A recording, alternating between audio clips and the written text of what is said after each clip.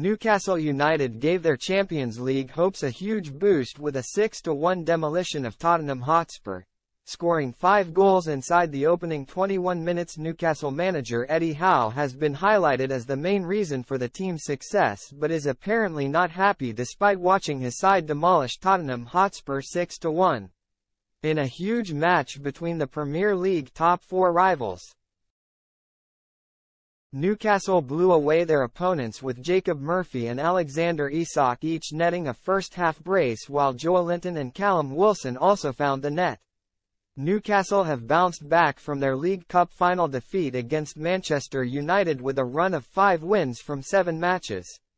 Howe side sit in third and six points above fifth-placed Spurs with a game in hand and seven matches remaining to play.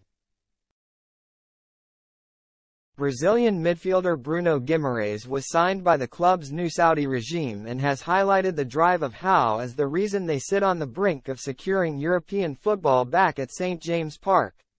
He said, the reason it is happening is Eddie.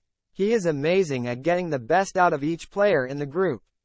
He deserves the credit. He is a guy who wants to improve the players.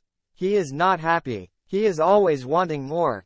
In the training ground he tries to get the best out of us. With his staff, we always do the same training so we know what to do on the pitch so Eddie deserved the credit. Top 4? We can do, we can do. 7 games to go. Let's keep working. We can't speak too much about the future, it is game by game. We started this way, so let's finish this way. There were question marks over Newcastle after Howe's side suffered a 3-0 defeat at Aston Villa last weekend when Ollie Watkins netted a brace. However, they bounced back in style against Spurs, scoring five goals inside 21 minutes and Howe says there is more to come from his side. Howe said, if you're saying, that's us at our best, there's only one place you can go and that's down. That was a glimpse, hopefully, of what we're capable of, but you've got to believe there's better, that there's more to come. That's it in terms of intensity, yes. We can tick that one off.